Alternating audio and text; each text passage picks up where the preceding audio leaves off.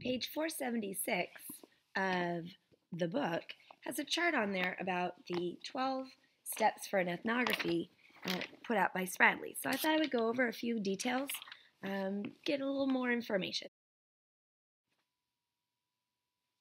So you're doing an ethnography. You have to decide who is it that you're studying. Those are your informants. It is the representative person or group that is your observation that you're going to base your ethnography off of. So, who are you looking at? Is it one person? Is it a group? What is it?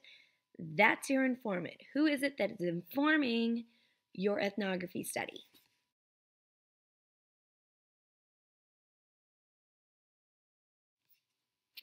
So, if you're doing an ethnography of teenage girls, you're not going to be talking to all the teenage girls in the world.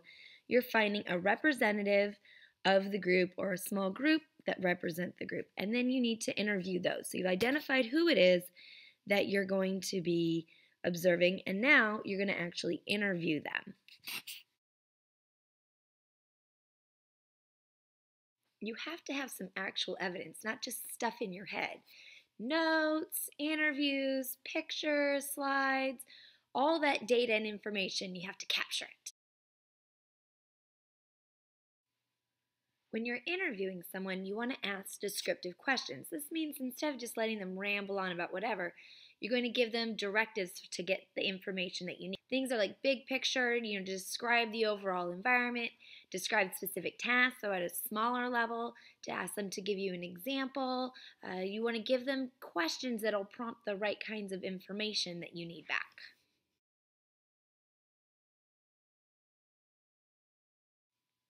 When looking at the data, you want to code the data, look for categories, uh, themes, different symbols, things that are important to that group, and identify them and understand how they mean it in their context.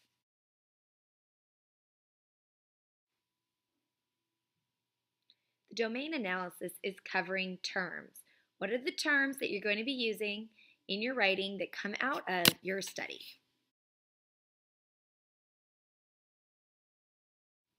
Now that you've identified the terms, you want to go back and talk to the informants and ask structural questions. You're confirming your terms and giving specific questions to draw more information out about those terms. A taxonomic analysis is an in-depth study of the domain and the terms associated with it.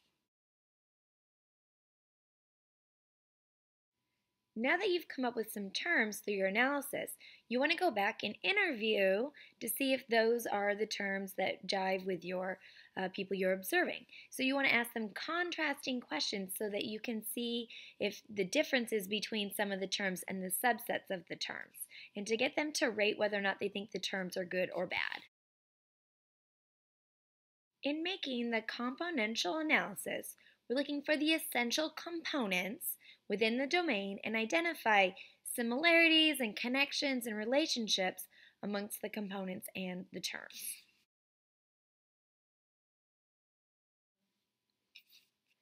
Themes are inferred from the domain.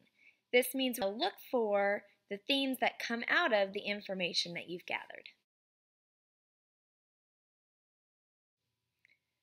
And now you can actually write your ethnography.